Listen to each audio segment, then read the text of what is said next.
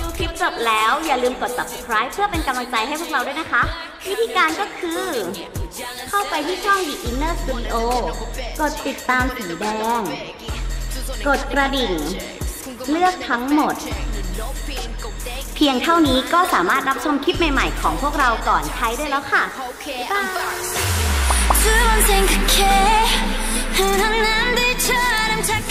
ย